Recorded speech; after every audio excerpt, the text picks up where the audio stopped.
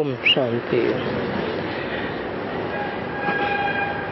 ये दिल्ली का चलाया हुआ प्रातः क्लास है। उनतीस बारह तिरसठ।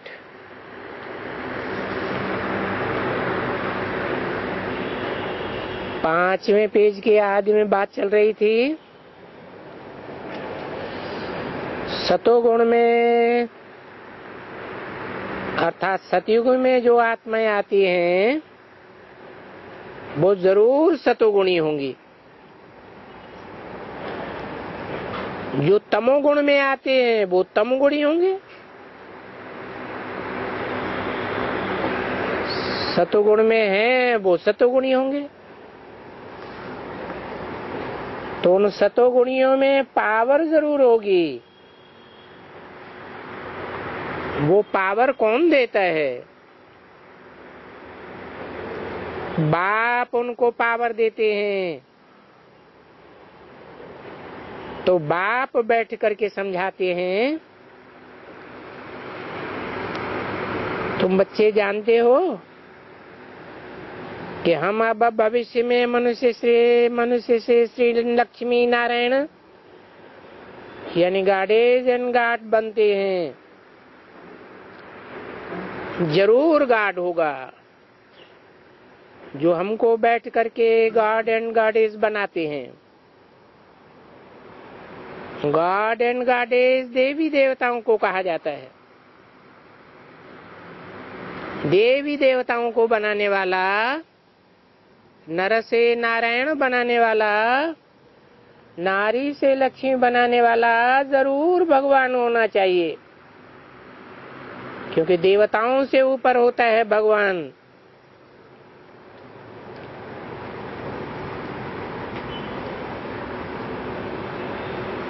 जो हमको बैठ करके गॉड एंड गॉडेस बनाते हैं। कैसे बनाते हैं? सो तो तुम बन रही हो। बात बहुत थोड़ी है, बिल्कुल थोड़ी। और बिल्कुल सिंपल बात है। बाबा समझाए देते हैं कि रात को नालिश तो सुनी है। मन मना भव का अर्थ देखो कितना सहज है। बाप कहते हैं, मेरे मीठे बच्चे, अब तुम सबको वापस जाना है। अभी तुम सबकी छोटे हो, चाहे बड़े हो, सबकी बाण प्रस्थ अवस्था है। सो भी मिसाल देते हैं। ये एटमिक बॉम्ब्स लगेंगे ना। तो घोड़े गाड़ी, बच्चे बच्चियाँ सभी खत्म हो जाते हैं। तो सभी की बान प्रस्तावस्था हो गई। यानी मरने के समय को वाणी से परे जाने वाले को कहा जाता है वान प्रस्तावस्था। तो वान प्रस्थ में वाणी से परे तो कोई जाते ही नहीं है। परंतु समझते हैं कि हमको जाना है। याद करते हैं ना? जैसे बैकुंठ याद करते हैं। वैसे बाण प्रस्थ को भी याद करते हैं। इसलिए बाण प्रस्थ की अवस्था लेते हैं कि वाणी से परे जाने के लिए। अभी हम धंधा धोरी छोड़ करके सत्संग करते हैं। वो समय है सत्संग करने का और गुरु करने का। वाणी से परे जाना। वाणी से परे जा करके फिर जाऊँगा। फिर जब मरते हैं तो उनको कहते हैं, कहा गया? कहेंगे, स्वर्ग पधारा। तो ज़रूर वाण प्रस्थ को तो स्वर्ग नहीं कहा जाता है। वाण प्रस्थ को तो वाण प्रस्थ कहा जाता है। वाणी में जाने से प्रकष्ट रूप से स्थिर हो गया। अर्थात वाणी से परे हो गया। और वाणी से परे स्थान तो मूल वतन हुआ। फिर जट से जब मरता है तो कहते हैं स्वर्गवासी हुआ। क्योंकि वाया जाना है, वाणी से परे होकर जाना है। मुक्तिधाम जाकर के पीछे आना है, यहाँ भारत में जीवन मुक्तिधाम। ऐसे तो नहीं है, मनुष्यों को कोई मालूम है। कि जीवन मुक्तिधाम किसको कहा जाता है? नहीं। कोई भी मनुष्य कुछ भी नहीं जानते हैं। भारत में ये वानप्रस्थ लेना बहुत करते हैं। फिर बंडर की बात है कि जब मरते हैं तो बोलते हैं बैकुंठवासी हुआ। बाबा कहते हैं, अभी मैं आया हुआ हूँ तुमको ले जाने के लिए। तुमको पहले बाण वानप्रस्थ में ले जाऊँगा। वाणी से परे लेकर के फिर तुमको बैकुंठ में, स्वर्ग में भेज दूँगा। परंतु ये कौन कहते हैं? बरोबर, वो वो कहते हैं जो बाबा है। वो इन द्वारा कहते हैं। इनको भी तो जाना है। किनको हम्म? इनको माने राम और कृष्ण को भी तो प्रजापिता ब्रह्मा को भी तो जाना है ना। हाँ पहले पहले इनको जाना है।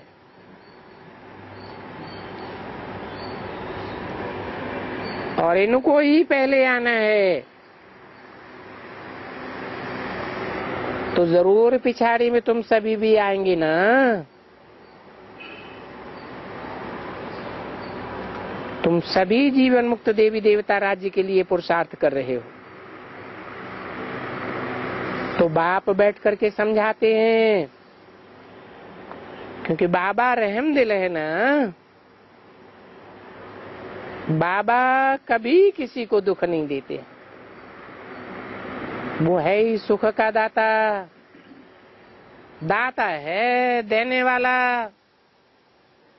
सुख क्या देते हैं? आयु भी लंबी देते हैं और धन भी अतिचार देते हैं।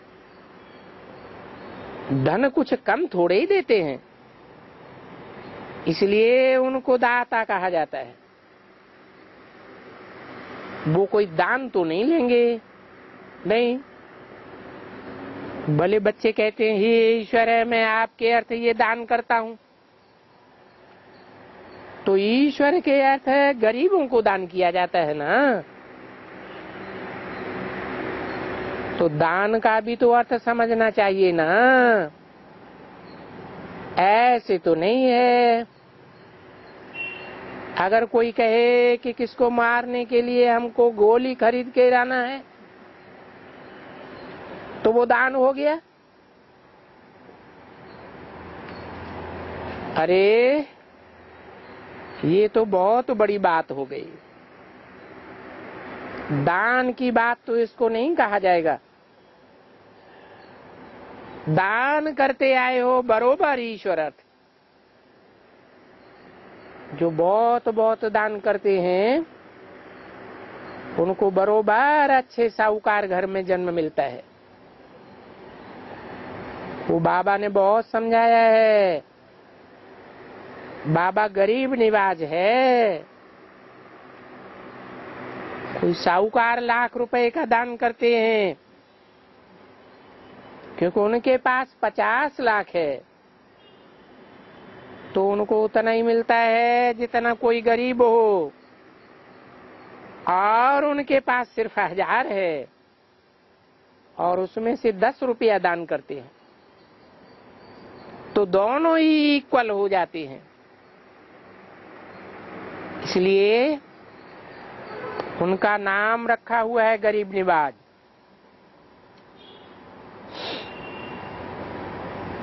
गरीब को भी दान ही देते हैं। गरीब कहा जाएगा क्या? क्या गरीब हमेशा के लिए कोई बड़े घर में आएँगे ही नहीं? नहीं। ऐसे कोई भी नहीं है। सुदामा ने दो मुट्ठी दी तो स्वर्ग में महल दे दिए। गाया हुआ है। क्या गाया हुआ है? हैं? दो मुट्ठी का चावल। दो मुट्ठी चावल का मतलब क्या हुआ? चावल छिलका उतार दिया जाता है तो चावल कहा जाता है। चावल मस्तक में लगाते हैं। ये चावल आत्मा की निशानी है। अर्थात दो मुट्ठी चावल, दाएँ हाथ की एक मुट्ठी, एक आत्माओं का संगठन विजय माला और बाएँ हाथ की मुट्ठी, माना बाएँ हाथ का संगठन। रुद्रमाला। ये दो मुट्ठी चावल की बात है। उस सुदामा ने ऐसा किया तो उसको स्वर्ग में महल मिल गए। क्या सोने चांदी के महल मिल गए? महल कहो, किला कहो, संगठन को कहा जाता है। विश्व की बादशाही का संगठन मिल गया। अभी तो तुम जानते हो कि बाप दाता है देने वाला। तो अभी वो बाप डायरेक्ट क्या देने वाला है?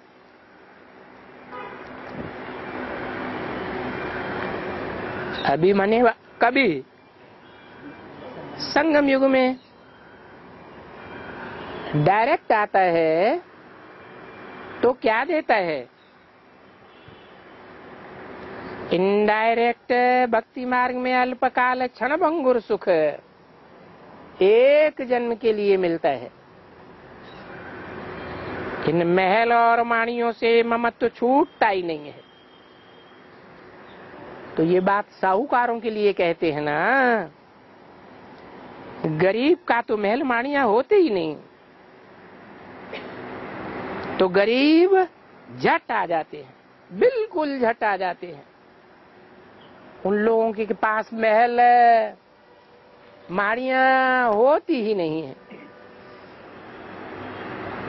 साहूकारों के पास महल माड़ियों बहुत होती है। तो देने में उनका दिल विदीर्ण होता है। उनतीस बारह तिरसठ की वाणी का छठा पेज। आगे भी बाबा ने कहा है, बोलते हैं, पहले बुद्धि में तुमको याद रहना चाहिए कि वो इनके तन में आया हुआ है। इनके माने किनके? इसके नहीं कहा बहुवचन कहा इनके। बना, राम और कृष्ण के तन में आया हुआ है। आया है पराई राजधानी में। किसकी राजधानी है? पराई माने किसकी राजधानी है? है? कौरव गवर्नमेंट कहो रावण संप्रदाय कहो पराय शरीर में आता है और पतित में आता है। राजधानी भी पतित है तो ये शरीर भी पतित। और पराया शरीर है, मेरा शरीर नहीं है और उनको तो अपना शरीर है ही नहीं। वो बोलते हैं, मुझे अपना शरीर नहीं है। तो मुझे ज़रूर लोन लेना पड़े। प्रकृति का आधार लेना पड़े।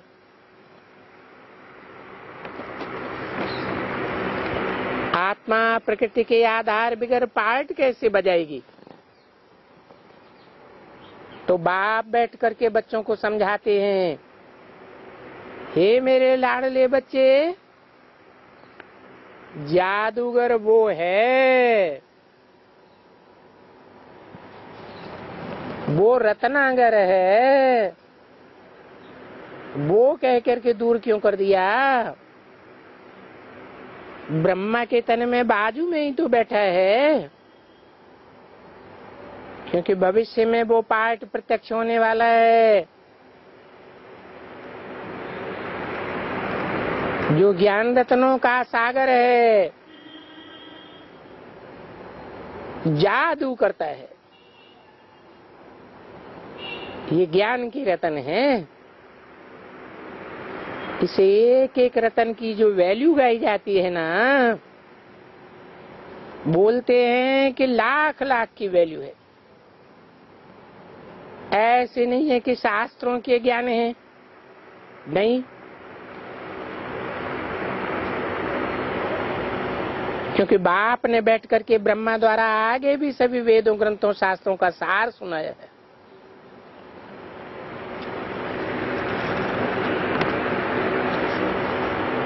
ये कहावत है तो ब्रह्मा आया हुआ है ना ये भी तो बहुत शास्त्र वगैरह पढ़े हुए हैं। ये नंबर वन भगत, पुजारी। फिर नंबर वन पूज्य। फिर तुम सभी उनके फॉलोअर्स बच्चे। तो हिसाब कितना बताते हैं? भक्ति के पीछे भगवान मिलता है ना? अरे, भला भक्त तो सब हैं।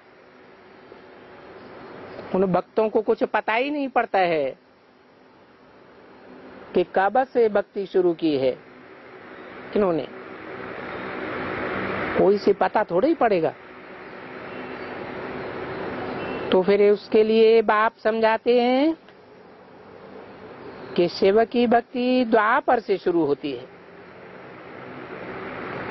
जिसने पहले से भक्ति शुरू की होगी, वो ही फिर मेरे पास यहाँ आवेंगे। भगत तो साथ ही है ना? और भगत सभी हैं। तो सभी भारतवासी थोड़े ही आएँगे। तैतीस करोड़ देवताएँ गाए जाते हैं भारतवासी। बुद्धि से ये विचार करना चाहिए। इस समय भारत की जो संस्था है, वो बहुत थोड़ी दिखलाते हैं। संख्या।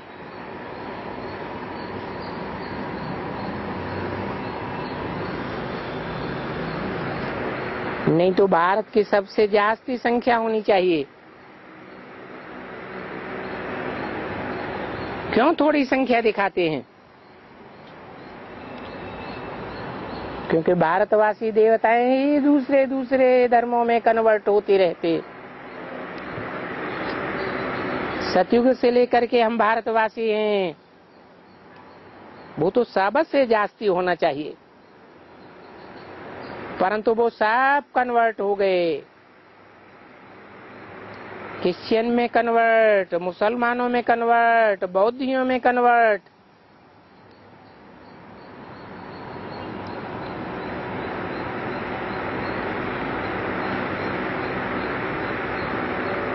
एक आया था, उसने एक ही लेक्चर से पचहत्तर थाउज़ेंड बौद्धि बनाई दिए। तुम लोगों ने अखबार पढ़ा होगा। अभी कहा हम देवताएँ ऊँचे थे ऊंच कुल वाले? ये ऊंच कुल और नीच कुल का रिवाज भारत में ही होता है। कहते हैं, भाई, हम ऊंच कुल में ही शादी कराएँगे। तो कहा भारत का ऊंच कुल? और कहा वो धर्म भ्रष्ट हो गए कर्म भ्रष्ट हो गए? धर्म कर्म भ्रष्ट होकर के कोई मुसलमान बन गए। अरे देखो तो सभी। ऊँचे थे ऊँची बिरादरी वाला कोई बौद्ध ही बन गए। कोई क्रिश्चियन बन गए। कोई क्या बन गए। ये भी ड्रामा क्योंकि बाबा बोलते हैं, जब जब भारत की धर्मग्लानी होती है और भारत का धर्म प्राय लोप हो जाता है, तब मैं फिर आकर के स्थापन करूँगा। ये तो बरोबर है कि सतयुग में जब देवी देवता धर्म था तो और कोई धर्म नहीं था। अभी जब बौद्ध धर्म है तो देवी देवता धर्म जैसे है ही नहीं। बाबा कहते हैं ना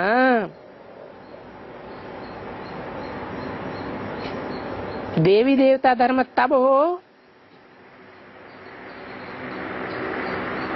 जब देवी देवता धर्म वाले कोई भी न रहे, तब तो मैं आऊ ना। देवी देवता धर्म स्थापन करने के लिए कोई भी अपन को नहीं कहते हैं। कोई भी गवर्नमेंट की जो आदमशुमारी होती है उसमें कोई भी नहीं लिखेगा कि हम कोई देवी देवता धर्म के हैं। बाकी लिख तो सब सकते हैं। क्रिश्चियन क्रिश्चियन लिखेगा। मुसलमान मुसलमान लिखेगा। परंतु ऐसा कोई भी नहीं है जो देवी देवता धर्म का अपन को लिखे। अभी हम क्या लिखें? अगर हम उन आदम सुमारी में लिखते हैं कि हम ब्राह्मण हैं। तो ब्राह्मण तो यहाँ और भी ढेर हैं। अगर हम देवता लिखें तो देवता तो हम हैं ही नहीं। ब्राह्मण हैं। परंतु ब्राह्मण भी दो प्रकार के हो गए। एक जिसमानी ब्राह्मण, कुख वंशावली। कुख गोद को कहा जाता है। गोद जिस्म का हिस्सा है। तो वो हो गए कुख वंशावली। और ये है मुख वंशावली। जो ब्रह्मा के मुख से निकली हुई बातों पर चलते हैं। उन कुंभ वंशावलियों को नशा रहता है, हमने ब्रह्मा की गोद ली है। इसलिए हम ब्रह्मा वंशावली हैं।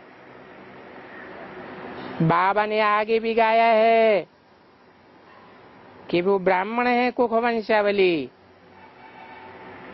और तुम बच्चे हो मुख वंशावली कौन से ब्राह्मण? बाहर की दुनिया वाले ब्राह्मण सिर्फ़, या ब्राह्मणों की दुनिया में भी दो प्रकार के हैं। एक कुख वंशावली जिनको नशा रहता है कि हमने ब्रह्मा की कोख ली है, गोद ली है, और दूसरे वो, जिनको नशा रहता है कि हम ब्रह्मा मुख की निकाली हुई बातों को मानने वाले। अब ब्राह्मण बरोबर मुखवंशावली को याद करते हैं। कहते भी हैं, ब्राह्मण देवी देवताय नमः। अरे, तुम ब्राह्मण हो? ये ब्राह्मण देवी देवताय नमः कौन थे? पहले ब्राह्मण थे, पीछे देवता बने। पहले ब्राह्मण चोटी, पीछे देवता। ऐसे कहते हैं ना, पहले चोटी को याद करते हैं। हम ब्राह्मणों की बात है, संगम युग वालों को कहा जाता है। क्योंकि संगम युग वाले हैं रूहानी, सोशल वर्कर्स। और बाकी सब हैं जिसमानी सोशल वर्कर। बाकी वर्कर तो सभी हैं। इनको कहा जाता है रूहानी। इसलिए उनको कहा जाता है पंडे। पंडे वो जो यात्रा पर ले जाते हैं। वो है जिसमानी पंडे। जिसम को ले जाते हैं तीर्थ यात्राओं पर। तुम बच्चियाँ हो रूहानी पंडे।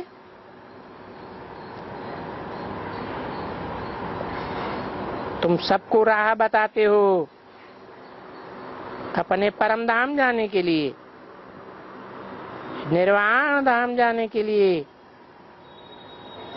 और फिर तुम उनको माया पर जीत पहनाते हो, जगत जीत बनने के लिए। ये स्कूल है, पाठशाला है। और इसमें कोई खर्चा है क्या? देखो, मंडप बना है। इसमें क्या खर्चा है? आजकल तो हॉस्पिटल खोलते हैं तो लाखों रुपया खर्च होता है। किसकी बात बताई? हम्म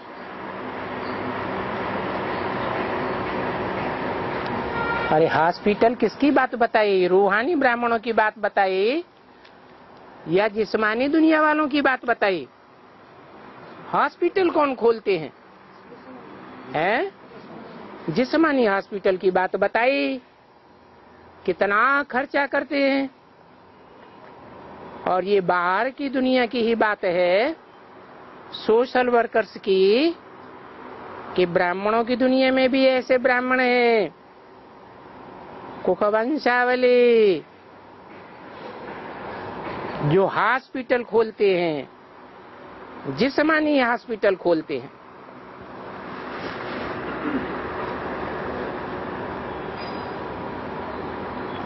यहाँ तो तुम एक कमरा लेकर के हॉस्पिटल खोल दो। तो मनुष्य वहाँ इक्कीस जन्म के लिए तंदुरुस्त हो सकते हैं? तो यहाँ कोई है खर्चा?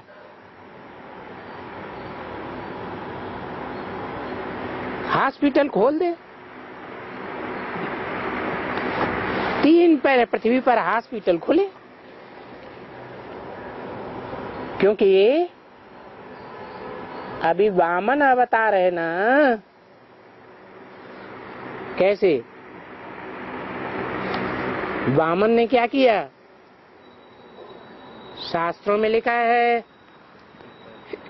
कि वामन अवतार ने तीन पैर पृथ्वी मांगी और फिर तीन पैर पृथ्वी से सारी दुनिया के ऊपर कब्जा कर लिया। तो तुम भी क्या करते हो? हैं? गीता पाठशाला के लिए तीन पैर पृथ्वी लेते हो। और उसका रिज़ल्ट आता है कि सारी दुनिया तुम्हारी हो जाती है।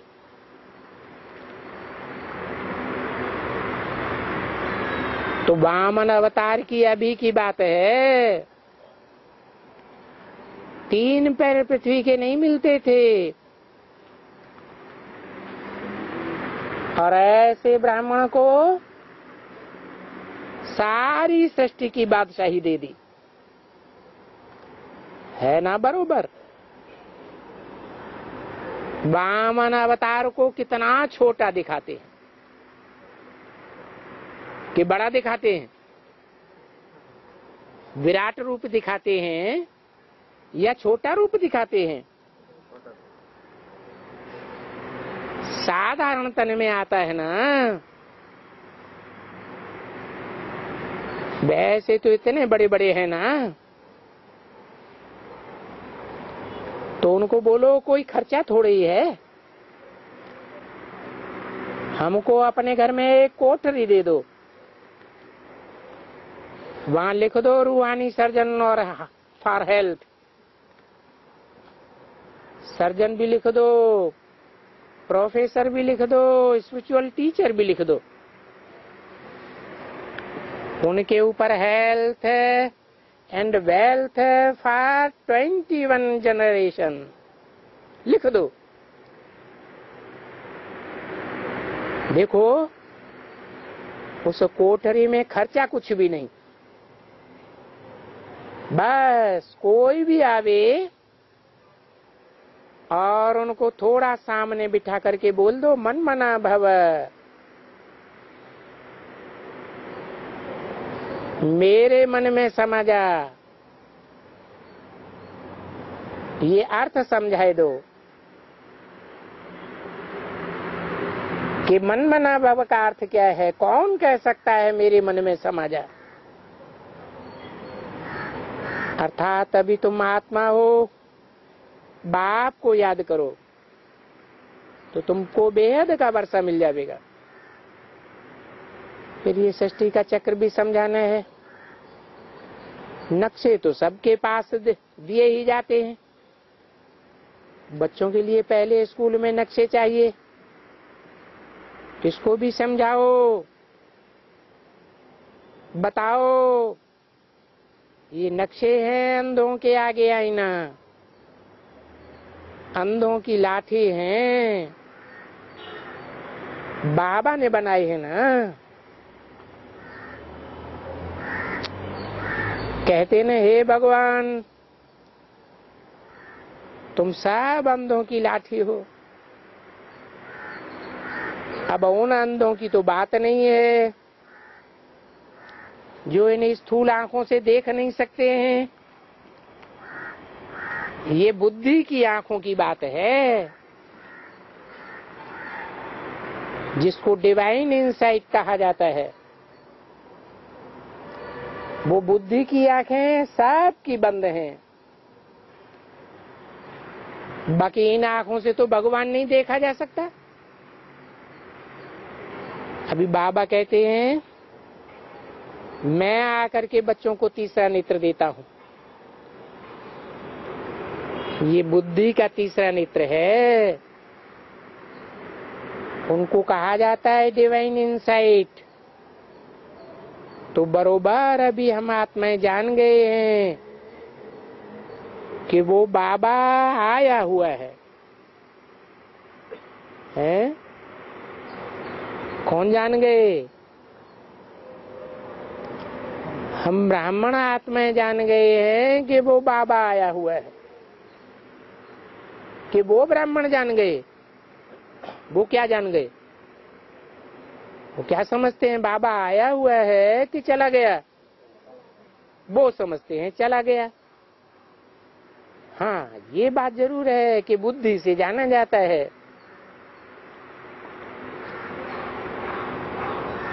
वो ब्राह्मण कहते तो हैं, आया हुआ है नई दुनिया बनाने के लिए।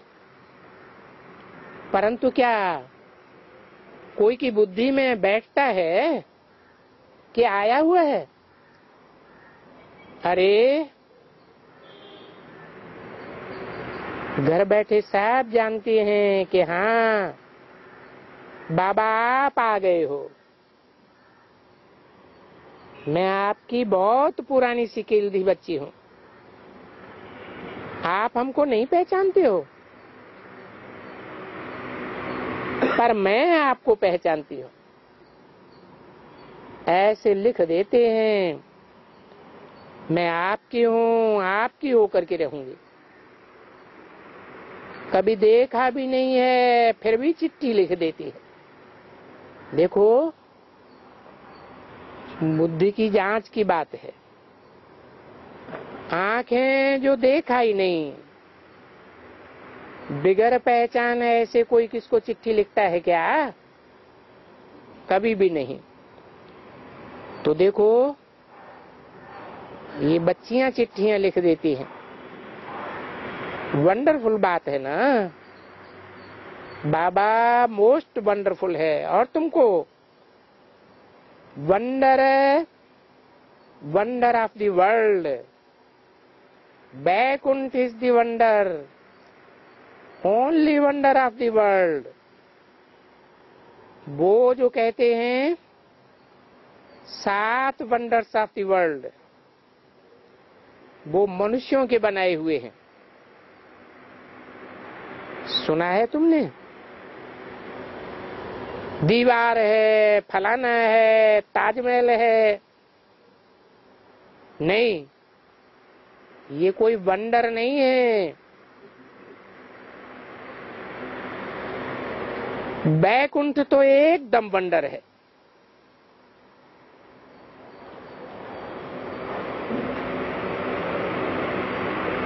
पुराने भारतवासियों का ये होता है। बाहर में भले कहते हैं बहिस्त हैविन मुसलमान और क्रिश्चियन बहिस्त हैविन कहते हैं ना। परंतु उनको इतना मालूम नहीं है, जितना तुम भारतवासियों को मालूम है, कि बरोबर सूर्यवंशी की लक्ष्मी और नारायण सत्युग में राज़ी करते थे। फिर त्रेता में वो ही रामचंद्र बनते। फिर कृष्ण द्वापर में कहा से आ गया?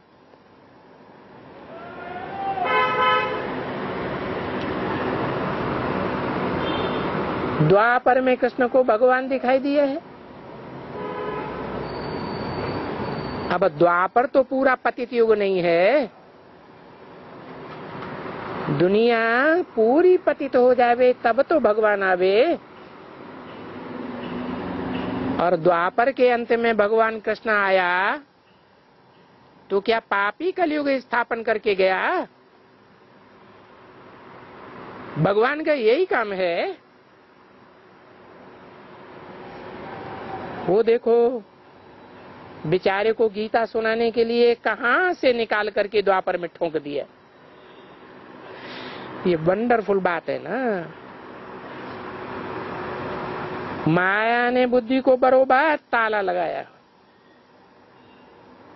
सबको एकदम गॉड रेस का बड़ा ताला लगाया हुआ है।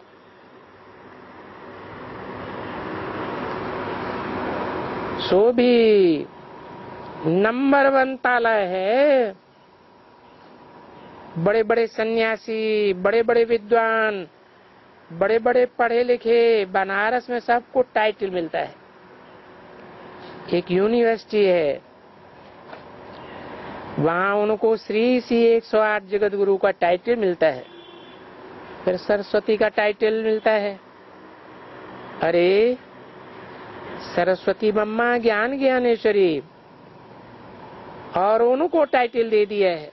बहुत शास्त्र पढ़ने का। दुब्बड़ में डालने के लिए। अगर ऐसा न होता तो क्यों होता कि बरोबर ब्रह्मा के हाथ में ये शास्त्र देते हैं? कोई कारण तो होगा ना।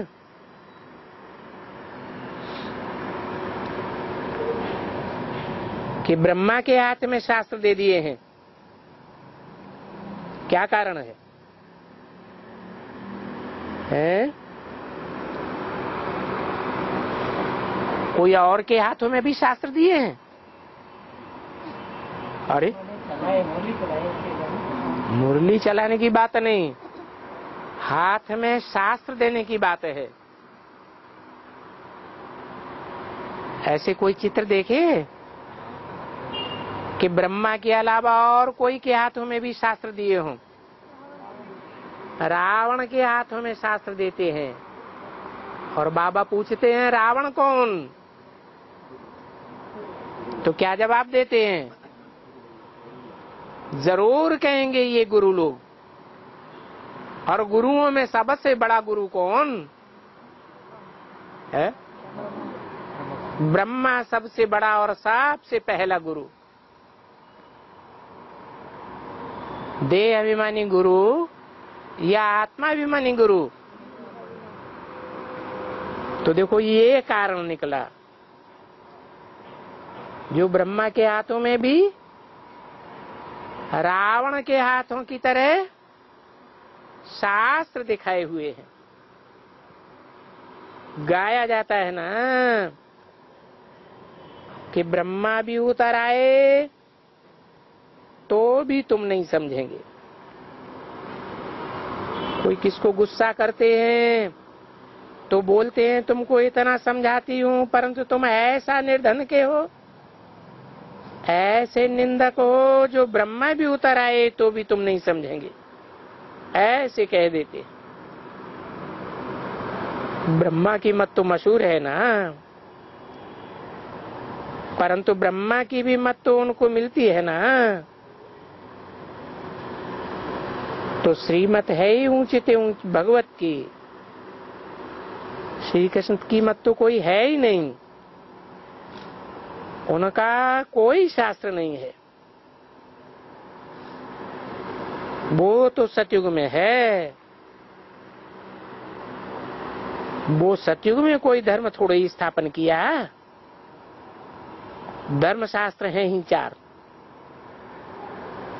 और कोई शास्त्र है नहीं। कौन कौन से चार धर्म शास्त्र हैं? हैं? अरे मुख्य धर्म कौन कौन से हैं? देवता है इस्लामी बौद्धिक क्रिश्चियन। तो चार धर्म है तो चार ही धर्म शास्त्र हैं। डिटिज्म, इस्लामिज्म, बौद्धिज्म और क्रिश्चियनिज्म।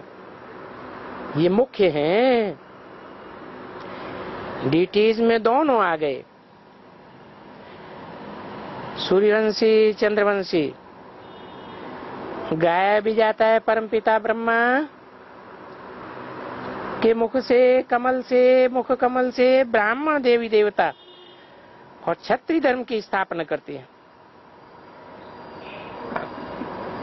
बाबा कहते हैं, मैं आकर तीन धर्म स्थापन करता हूँ। पहले तो इन शूद्रों को ब्राह्मण धर्म में ले आता हूँ।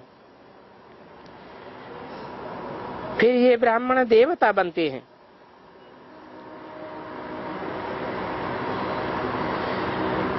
और जो 33 मार्क्स से कम, अर्थात ना पास हो जाते हैं, उनको कहा जाता है छत्री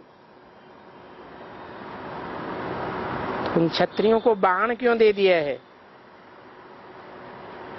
क्षत्रिय पना है ना? इसलिए वो बाण दे दिए नहीं तो ये बाण की निशानी कहाँ से आवे?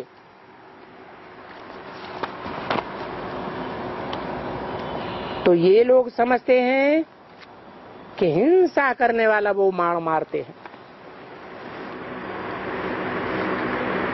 उनतीस बारह तिरसठ की वाणी का आठवां पेज। अभी हिंसा की तो कोई बात ही नहीं है।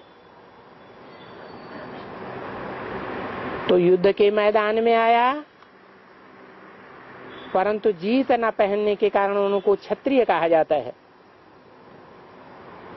और गीता के लिए गाया भी जाता है जो युद्ध के मैदान में मरेंगे, वो स्वर्ग में जाएँगे। तो कौन सा युद्ध है? हिंसक युद्ध है। या माया का काम क्रोध, लोभ, मोह, अहंकार का युद्ध है। वो जो सिपाही लोग ऐसा मिलिट्री वाले होते हैं ना, उनके लिए भी ऐसे ही कह देते हैं। कैसे? कि जो भारत की सुरक्षा के लिए युद्ध में मरेंगे, वो कहा जावेंगे? स्वर्ग में जावेंगे। परंतु नहीं। वो तो अंत में अंत मते सुगते वो हिंसा करते हैं। फिर भी जन्म लेकर के वो हिंसा वाली लड़ाई में चले जाते हैं। उनका अंत मते सुगते होता है। तभी तो इतने सिपाही मिलते हैं लड़ाई करने के लिए। फिर उस फन में चले जाते हैं। परंतु ये वो थोड़े ही हैं। ये तो अपने युद्ध के मैदान में जो माया पर जीत पहनेंगे, वो स्वर्ग का मालिक बनेंगे। न किसकी, न कि किसी खून, किसी का खून करेंगे तो स्वर्ग के मालिक बनेंगे। परंतु अभी बच्चों को क्या बतावे? बच्चे तो बिल्कुल अच्छी तरह से समझ गए। इस बात का पहले निश्चय रखो कि बरोबर हम भी पढ़ते हैं। हम कोई कृष्ण थोड़े ही हैं। कृष्ण तो बनना ज़रूर है, बाकी अभी है थोड़े। जो नारायण बनते हैं नर से, कृष्ण को तो ताज होता अरे आजकल बहुत ठगी भी करते हैं। गवर्नमेंट तो कोई है ही नहीं। नहीं तो कोई ताज पहन करके पीताम्बरी पहन करके, मुरली लेकर के कहते हैं, मैं कृष्ण हूँ। अरे ये कोई बात हुई? ये क्यों हुआ है? क्योंकि आज की गवर्नमेंट रिलीजियस है। अगर कोई रिलीजियस गवर्नमेंट होती और ऐसे कोई अपन को कृष्ण कहलावे तो एकदम जेल में डाल दे। ये तो बड़ा ठगना है मनुष्यों को कि मैं कृष्ण भगवान हूँ। ऐसी ऐसी ठगी करते हैं। अरे ऐसे तो बहुत ठगते रहते हैं। समझा ना? बाप बैठ करके समझाते हैं। अच्छा तुम्हारी भावना तो कृष्ण में बहुत है। तो तुमको भावना का बहारा मिल जाता है। तुम्हारा जो भी कृष्ण में प्रेम है तो तुम आह कृष्ण वाह वाह तुम कृष्ण को याद करते रहते हो, भावना पूरी करने के लिए तुमको साक्षात्कार हो जाता है। बस। तुम उनके पीछे पड़ जाती हो। उनके ऊपर मोती जैसे लड्डू बन जाते। ऐसे बहुत इच्छा भी होती है, क्योंकि है तुम्हारी भावना का भाड़ा वो तो भला चैतन्य हुआ। और तुम तो जड़ चित्र के पीछे तुम्हारी भावना का भाड़ा मिल जाता है। तुमको साक्षात्कार हो जाता है। बाप कहते हैं, मैं ये भी साक्षात्कार कराता हूँ। मैं ये दिव्य दृष्टि की बुद्धि का दान जो हमारे पास है, ये किसको भी नहीं देता हूँ। क्योंकि भक्ति मार्ग में मुझे ये काम आता है। ये सर्वव्यापी का ज्ञान क्यों हुआ है? सुनो, बाबा बताते हैं, देखो, कोई जाकर के हनुमान की पूजा करते हैं, उनको भावना का बहाड़ा मिल जाता है। अभी ऐसे वो समझते हैं, कथा सुनी है। रामचंद्र का बड़ा शिष्य था, महारथी था। तो महावीर बनने के लिए उनकी जाकर के तपस्या करते हैं। नौदा भक्ति करते हैं। नौदा भक्ति माना एकदम बड़ा भक्त।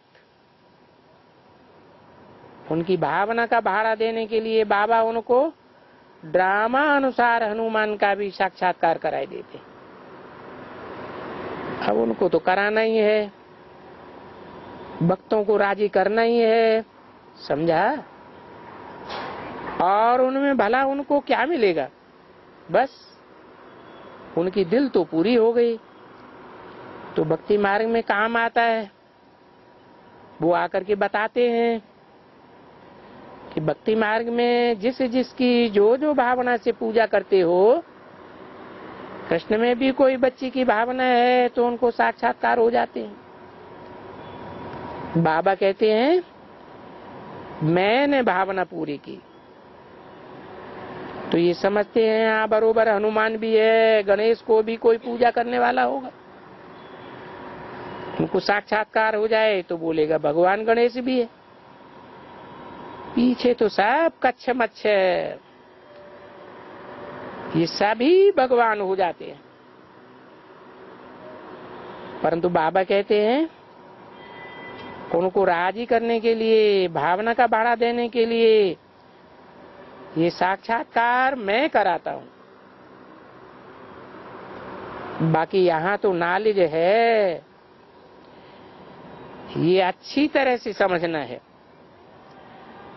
बाप को याद करना है।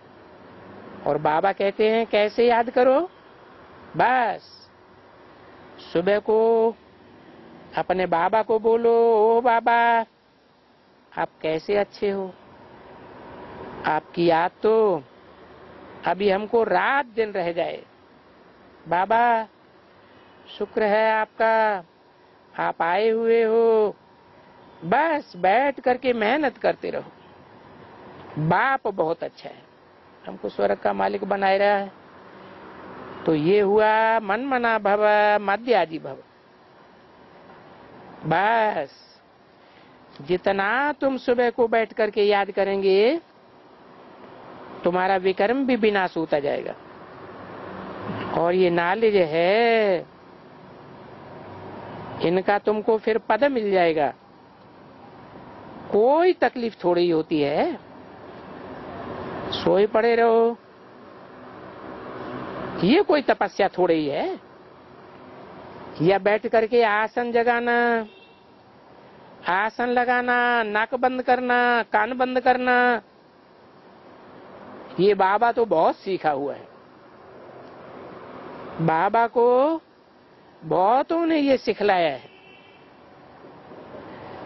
ये सभी मत्था मारने की बातें हैं।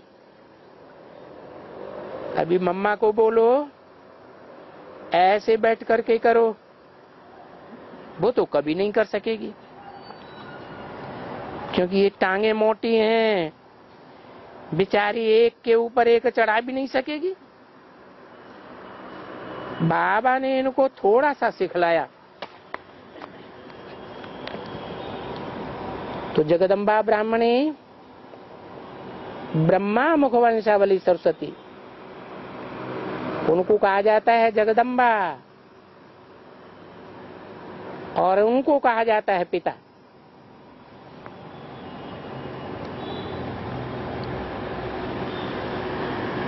उनको उनको कह के दोनों को दूर क्यों कर दिया? क्योंकि जगदम्बा और जगत पिता दोनों का पाठ भविष्य में बजना है।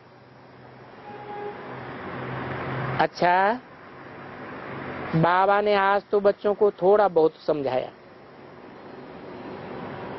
फिर ये पढ़ाई तो रोज समझाएँगे ना। नए नए पॉइंट्स बच्चों को रोज समझाते हैं। और हम लोग कचहरी भी करते हैं। कचहरी में क्या पूछते हैं? कोई ने भी किसको किसी भी प्रकार का दुख तो नहीं दिया? मनसा से दुख की तो बात ही नहीं। दुख कोई को नहीं देना है। तुम्हारा बाप सबको सुख ही देते हैं। दुखी को बिल्कुल सुखी बनाना, ये तुम्हारा फ़र्ज़ है। अगर तुम किसको दुखी करेंगे तो फिर दुखी होकर के मरेंगे। ये मैं साप नहीं देता हूँ। बाबा कहते हैं किन को तुम दुख देंगे? और बाप तो सुख देने वाला है। तो ऐसे बच्चों को क्या कहें? ये पाप हो गया ना। क्रोध करेंगे तो ज़रूर दुख देंगे। पिछाड़ी में, जब अंतिम जन्म की सांस आवेगी तो दुखी होकर मरेंगे। अंतमते सो गते हो जावेगी, और दुखी दुनिया में जाके जन्म लेंगे। धर्मराज बाबा बोलते हैं कि तुम दुख देंगे, देते रहेंगे तो अंत समय में मैं तुमको दुख दूँगा। तो दुखी होकर के मरना हो गया ना? ये भी हिसाब किताब है। ये कोई साप की बात नहीं है, नहीं। बाबा तो कभी भी श्राप नहीं देते हैं। श्राप कौन देता है? शाप माया देती है और वरदान बाप देते हैं। उसको कहा जाता है रावण और उनको कहा जाता है राम। अच्छा अभी हम पूरा करते हैं, क्योंकि बच्चों को जाना करना भी है। अभी देखो बाप भी कहते हैं, वंदे मातरम। माता है ना? गाया जाता है ना कि कुंती ने, एक कुमारी ने ज्ञान सूर्य का आवाहन किया तो माता बन गई। कहा का गायन है? एक कुंती का गायन है। यह बहुतों का गायन है। हैं? एक अर्जुन का गायन है कि नंबर बार बहुत अर्जुन है। मैं कुमारी को आकर के माता बनाता हूँ ना। तुमने सुना है? ये आखानियाँ पड़ी हैं। जैसे कुंती है, वैसे ही अनुसुईया भी है। और एक अनुसुईया की बात नहीं है। वो तो खुद कहते हैं, मैं इनको बालक बन करके तो बालक बनेंगे तो ज़रूर बंदे मातरम कहेंगे। कौन? है? कौन कहेंगे बंदे मातरम? शिव बाबा माताओं के सामने क्या बनते हैं? बालक बन जाते हैं। तो ज़रूर वंदे मातरम कहेंगे ना, क्योंकि अभी तुमको गुरु का पद मिलता है। तो जैसे मैं कर्म करूँगा, मुझे देखा और भी करेंगे।